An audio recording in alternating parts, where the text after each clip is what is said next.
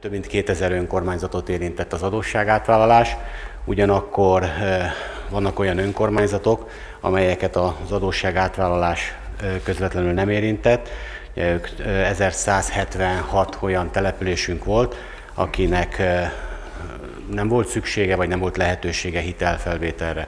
A kormány tavalyi évben döntött arról, hogy azok az önkormányzatok, akik hitel nélkül gazdálkodtak, és így bizonyos fejlesztési forrásoktól elestek, így a kormányzattól, a költségvetésből négy év alatt két részletben támogatást kaphatnak lakosság arányosan.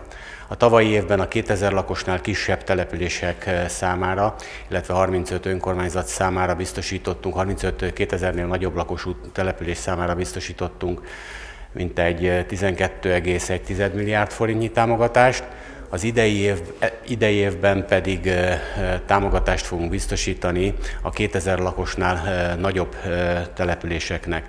Ez várhatóan egy 9,6 milliárd forint értékű támogatás lesz.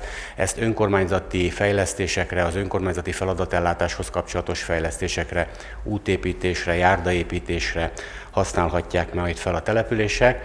Várhatóan az év második felében kerülhet a pályázatok elbírálására sor, és a folyósítás is ekkor történhet meg.